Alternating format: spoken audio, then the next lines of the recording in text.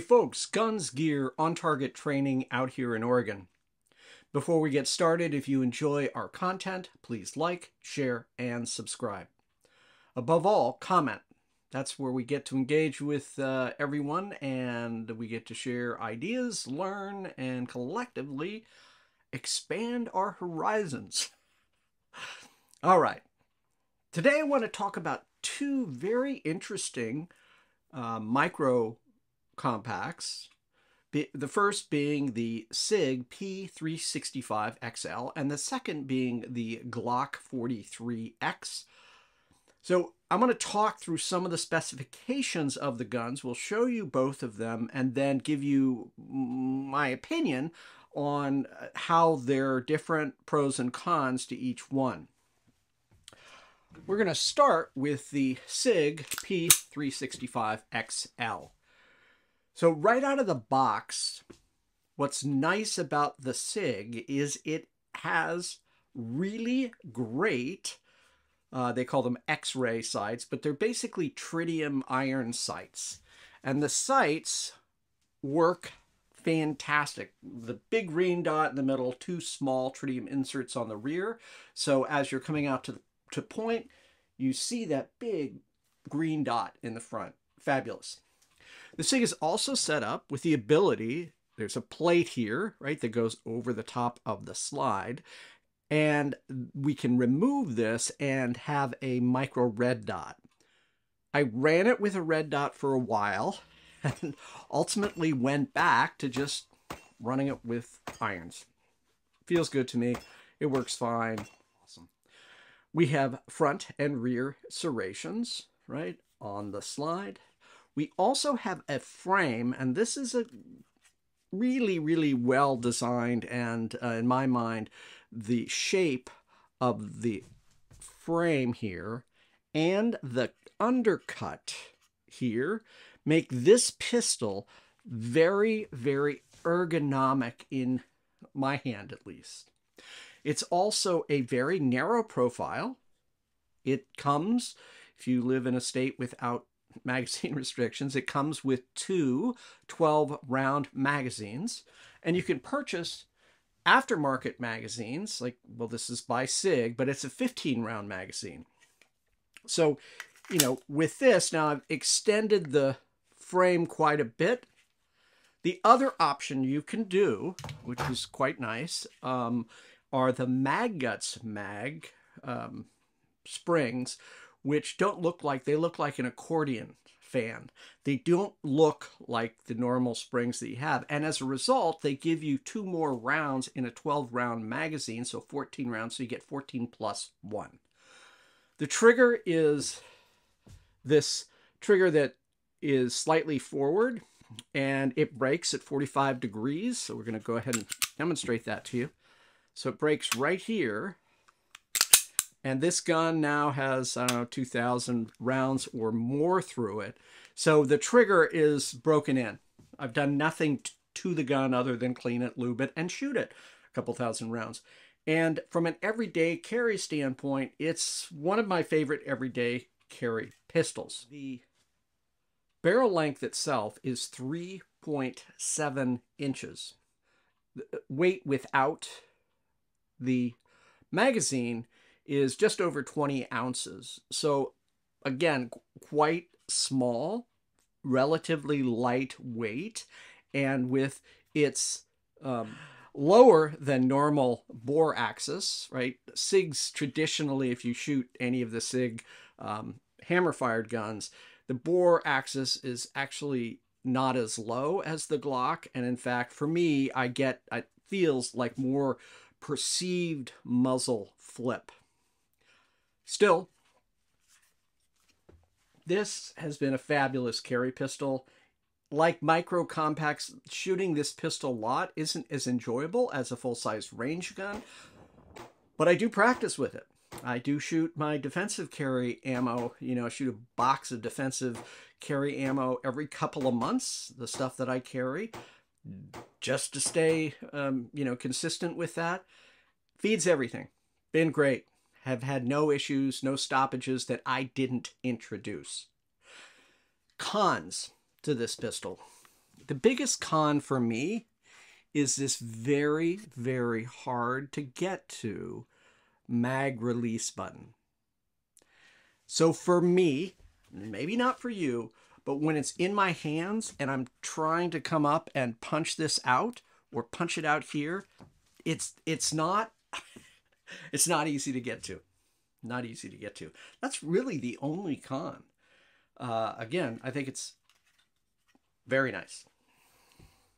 Let's take a look at the Glock 43X.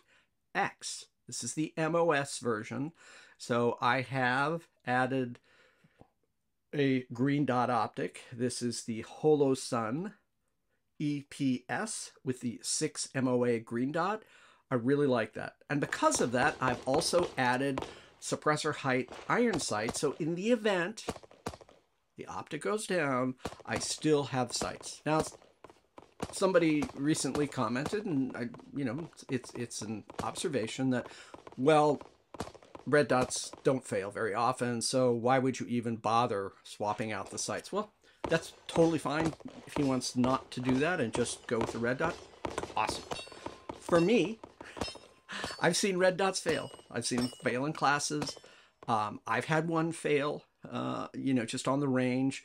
Um, so they can, you know, they're a mechanical electronic device that can fail. So, in my opinion, backup iron sights are important. All right, back to the Glock 43X. The Glock comes with two 10 round magazines. And, um, you know, that's fine. Do I think 10 rounds and another 10 rounds is, is sufficient capacity? For sure. Absolutely.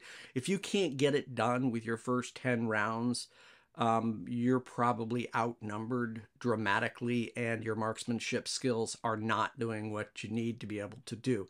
So, do I prefer more capacity? Sure. And if you want to go with more capacity, of course, you have things like the Shield Arms 15 round mags.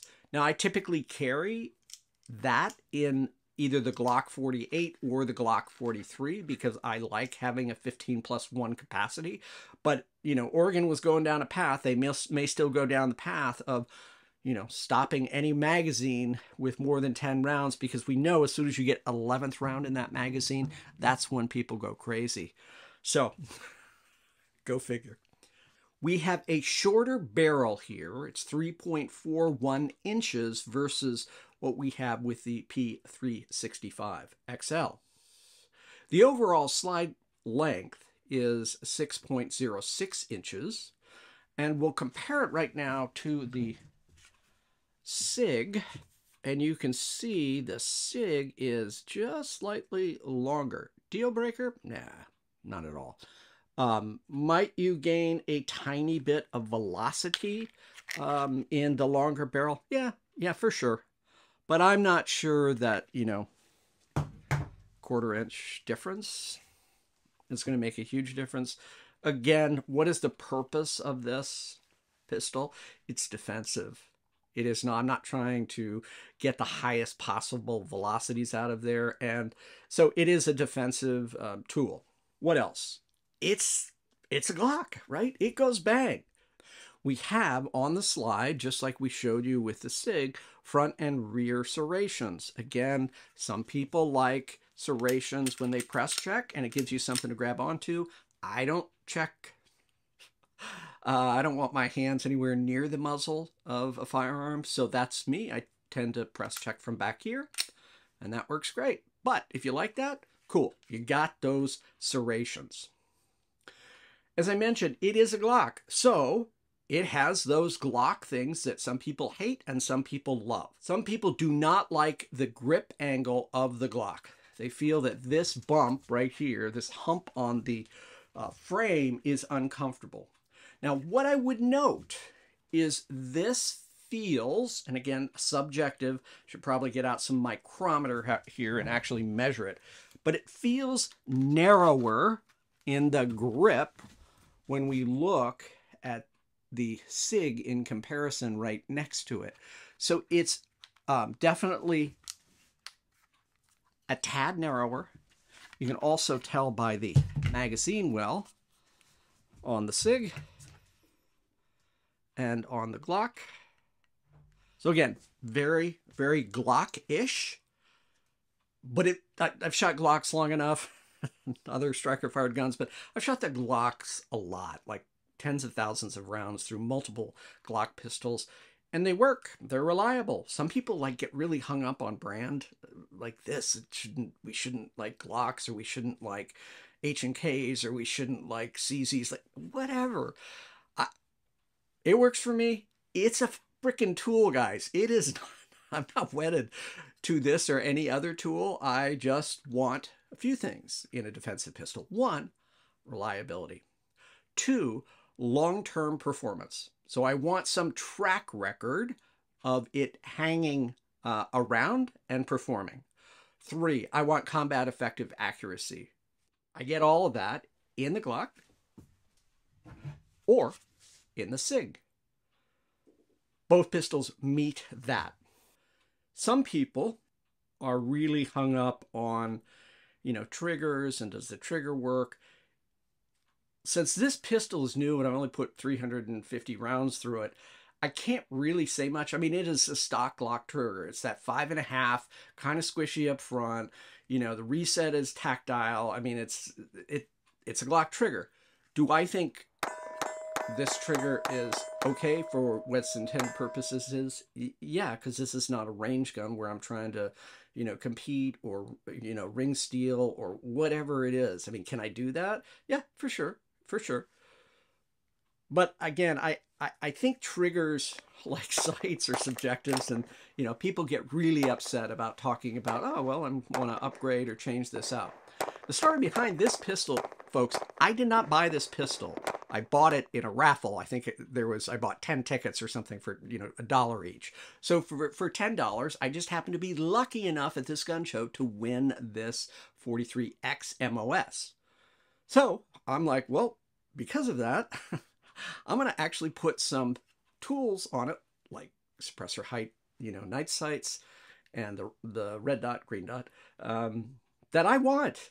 So it wasn't like I went out bought this pistol specifically and said, oh, I'm going to punt a bunch of more money into it. But, you know, one of the cool things if you enjoy firearms is being allowed, if you have the money and you have the time, you know, to, to do some modifications that end up working for you. Now, my recommendation, if you are new to shooting or new to concealed carry, is first and foremost, pick the handgun you're going to use, get training, and shoot and practice and get more training. You will not develop a level of proficiency with any tool if you don't get training and practice practice is essential. And I don't mean just firing thousands and thousands of rounds. I mean, that's fun. I love to do it.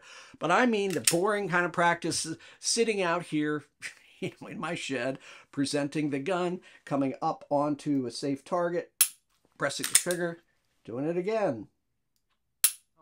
So, okay, what don't I like? Well, what I don't like about Glocks is the trigger guard. I have other guns, like this one, that have that undercut. I cannot tell you how much more comfortable it is because what happens when I shoot a, this pistol, you know, a lot like I did the other day for, you know, a couple of hours and 300 rounds or so, is this knuckle, the middle knuckle right up here, my middle finger, is just get, you know, rubbing up against that. Some people are like, oh, don't be such a sissy, you know, suck it up. Uh, okay, I'm just telling you though, guys, like that's not fun. That is not fun. Other than that, though, you know, it works. It actually has a better mag release than the SIG, in my opinion. Much easier to find and much easier to get to than the SIG. It's not flush against the gun, almost like the SIG is. I mean, sometimes it's just difficult to get that. Both the SIG and the Glock have rails or the ability to attach lasers, lights, whatever paraphernalia you want there. Pros and cons, right, to having um, a weapons mounted light. Yes, you can see what you point the muzzle of the gun at, but I have to point the muzzle of the gun maybe it's something I don't want to. So for me, I typically don't run lights on carry compact carry guns. Now I have lights on defensive pistols that are in the home, full-size defensive pistols, uh, and those work great. But for EDC, that's not what I want. You want it, rock on, brother, sister, whatever works for you. That's awesome. So, in summary, I think both of these pistols are up to the task of EDC. I think both of them are well made. I think both of them, you know, have proven to me to be reliable, durable, and provide combat effective accuracy. Hmm. Is there a winner? No, there's not a winner. Uh, whatever works for you. If you love this pistol and it works for you and you practice with it and you train with it, rock on. If you're a SIG fan and the only pistol you'll ever shoot is the SIG, awesome. Rock on, brother. That's fantastic. I don't care. What I care about is people who have trained and develop enough proficiency so they can hit the threat with whatever shots they need to neutralize that threat in a defensive situation. So, those are my thoughts, guys. Two fine pistols. Pistols that you, I think, could bet your life on in the gravest extreme. Well, folks, that's all I got for you today. I really appreciate each and every one of you, especially those who've subscribed recently. That's helping the channel. We are so close. We're like 800 subscribers away from the 100,000 uh, magic 100,000 subscriber mark. So if you want to help the channel, help support the channel, please share it with your friends and family and invite them to subscribe. We welcome everyone. We love all input, all ideas that are delivered in a respectful manner. Uh, I try to respond to all the comments, all of the feedback, because generally I am interested in learning as well as sharing my perspective with subscribers. Sometimes they disagree with me. That's okay. Sometimes I disagree with them. That's okay. But we're having a conversation. So let's keep that conversation going. All right. That's all I got. Thanks so much. Finally. And as always, stay safe.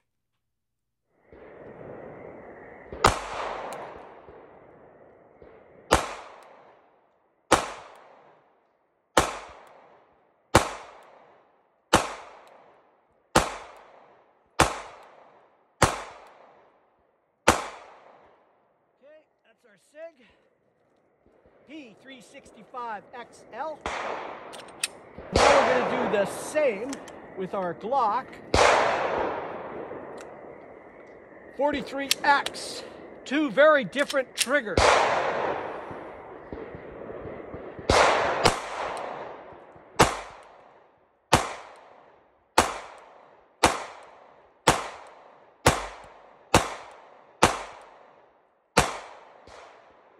Let's take a walk down range. Very similar groupings. Our SIG, which is a little more broken in. The Glock right here, several shots, same hole. But again, similar grouping, a few more out, but I don't know this trigger. So they have different recoil impulses and they also have a different trigger. So both of them I think are great concealed carry options and I would feel good with either one. Both of them allow you to attach a red dot optic or some sort of reflex optic on their slides, which is awesome. They're already set up for that. The big advantage though goes to the SIG because it comes with iron night sights. The Glock comes with a plastic sights which work, they're effective, but quite frankly, they're made out of plastic. I want steel iron sights, whatever it is. So both good guns. Thanks so much for watching. Finally, and as always, stay safe.